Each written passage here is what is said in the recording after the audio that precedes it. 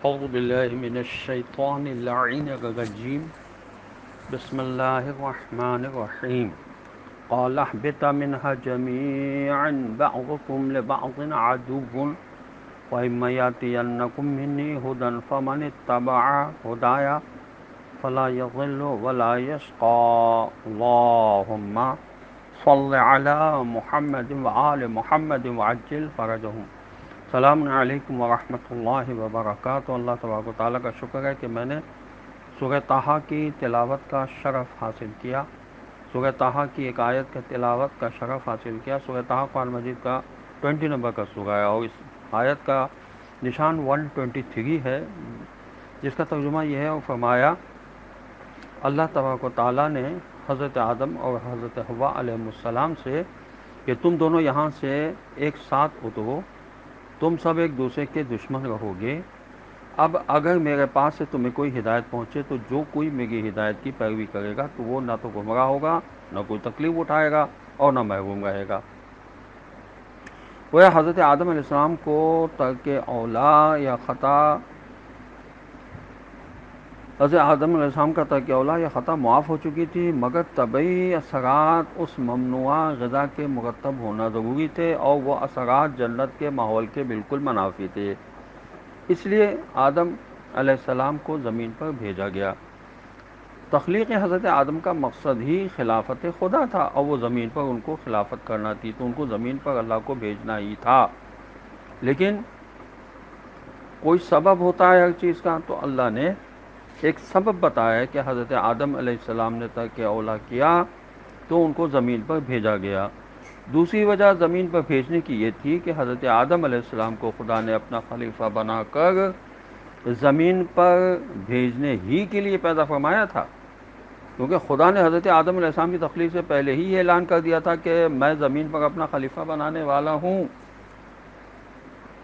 इससे मालूम हुआ कि हज़रत आदम सज़ा के तौर पर ज़मीन पर नहीं भेजे गए, बल्कि इम्तहान के लिए भेजे गए। ताकि अपनी कोशिशों से अजीम मरातब हासिल करें, आयत के अल्फाज इसी की निशानदेही कर रहे हैं। बाल हज़रत आदम सलाम ने ऐसा काम कर दिया था कि तोबा कबूल होने के बाद भी पहली जैसी हालत पर लौटना मुमकिन न रहा था। इसे खुदा ने जन्नत से ज़मीन पर उतार कर कहा, अब तुम और शैतान एक दूसरे के दुश्मन रहोगे। मगर गाह निजात व सआदत तुम्हारे सामने खुली रहेगी। अगर तुम मेरी हिदायतों पर अमल करोगे तो गुमराह ना होगे। सूरा नंबर ताहा कुरान मजीद का ट्वेंटी नंबर का सूरा इसकी आयत नंबर वन ट्वेंटी फोर। वमन आरवा अन ज़िक्री फ़ैन लहू मीशत वन का व नाशरू यौम क़्यामत आमा। अब इस आयत का तर्जुमा यह है कि जो मेरी याद और नसीहत से मुँह को मोड़ लेगा तो उसके लिए तंग और बेतमान ज़िंदगी होगी और क़यामत के दिन तो हम उसे अंधा उठाएँगे। अब दुनिया में इंसान का इम्तहान ये होगा कि इख्तियार रखने के बावजूद खुदा की इतात करता है या नहीं।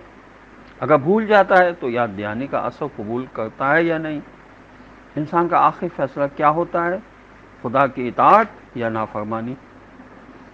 अब जो लोग अपनी इतात साबित कर देंगे, उन्हें फिर मुस्तकिल दायमी और लाजवाल सल्तनत अता की जाएगी। उनके लिए जो भूल लाक होने के बाद बिलाखिर इतात की तरफ़ पलट आए, जन्नत में फिर मुसलसल तरक्की होगी, अगरचे हम वहाँ की तरक्कीों को समझ नहीं सकते। ये तफहीम कुरान में लिखा हुआ है। तफसीर साफ़े में लिखा है कि खुदा की याद से मुराद खुदा के अहकाम को याद रखना है उन अहकाम में विलायत हज़रत भी शामिल है।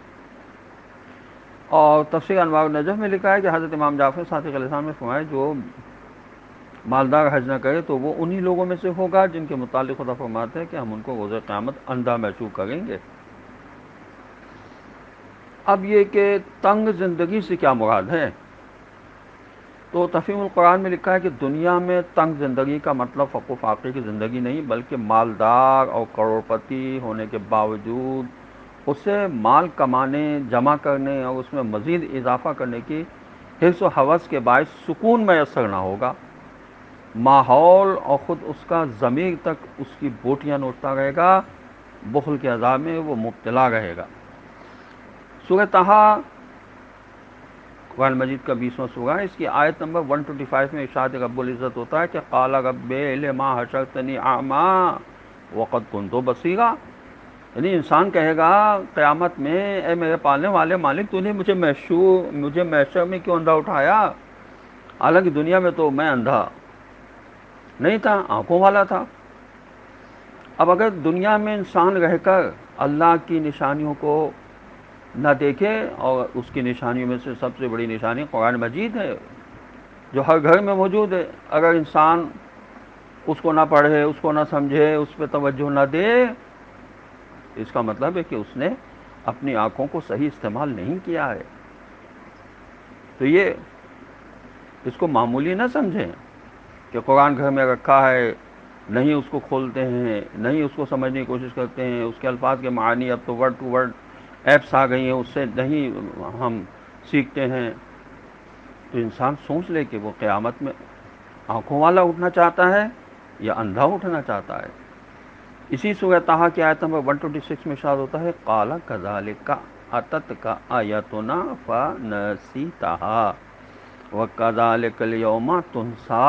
अल्लाह फरमाएगा हाँ जिस तरह तूने हमारी बातों, दलीलों, निशानियों को जो तेरे पास आई थी, भुला दिया था, उसी तरह आज तू भी भुला दिया जा रहा है। मैं कोशिश कर रहा हूँ कि लोगों को कम वक्त में कुछ तफसीली इशारे पेश करूँ। लेकिन लोग उसके लिए भी तैयार नहीं हैं, नहीं सुनने के लिए अपना वक्त देते हैं। वो खुद जाने। अल्लाम वरहमल वर्का